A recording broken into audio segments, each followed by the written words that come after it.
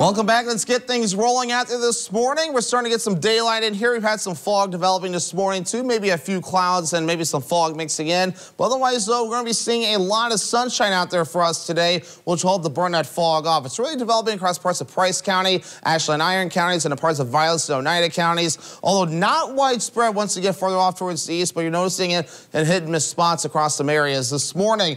And of course, with all that in mind, has prompted the Weather Service out of Duluth to issue a dense fog advisory for Price County, Ashland, Iron counties, even Bayfield County as well until about 10 a.m. this morning because of that fog. On top of that, we're also watching these winter storm watches that are in parts of Minnesota and also in parts of Iowa. That's up to 8 a.m. Friday, or excuse me, 6 a.m. Friday for them. No, that's because they're going to be watching for snow, and it's that same system. It's going to be tracking off towards the east. So we'll see some advisories issued for us at some point too with the system that's tracking off towards the east. So for now, here's the general idea. We're, we're going to be seeing a lot sunshine today. The fog will be going away. We might notice a few clouds today, but it's going to be a nice day. The sunshine will be nice. Temperatures in the 40s, kind of a little taste of spring as well. But otherwise, we're going to stay rather quiet for the next few days as the pattern It's kind of quieted down for us. There's a little bit of snow in the Dakotas, but that's about it for anything nearby. But we added some snow yesterday. Again, we we're at 8.5 inches now for the month. For the season, 79.9 inches. We could have done 80 inches, right?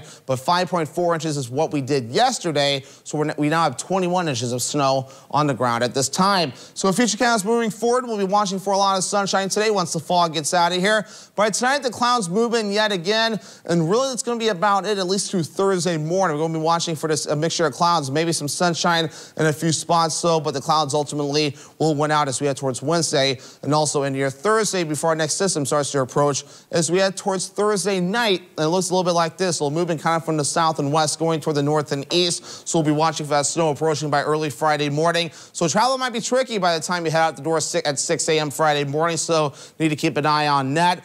That will start to calm down as we head towards Friday evening at about 7 p.m. or so. Then another wave starts moving as we head towards Saturday night and a Sunday with another round of snow that will begin to move in. We'll need to keep an eye on that as it does develop too. The pattern overall remains active moving forward, although we're dry for a few days. Temperatures in the lower teens here in the Northwoods right now, even 9 degrees over in Iron Mountain. Some other spots over in the middle 20s this morning, even upper 20s further down to the south. Our average high is 35 degrees. How does lower 40s sound today? That'll feel nice, right? Upper 30s for your Wednesday, mid 30s for your Thursday, then lower 30s again Friday and lasting through Monday of next week. Forecast for today, lower 40s, mostly sunny, east wind at about 5 to 10 miles per hour. By tonight, here we are, 21 degrees, mostly cloudy, and an east wind at about 5 to 10 miles per hour. Northwoods Furniture and Mattress, seven-day forecast. Again, we're dry through Thursday, temperatures in the 30s and 40s. Snow moves in Thursday night into Friday. We're dry Saturday, but then there's more snow again as we head towards Sunday and also near Monday.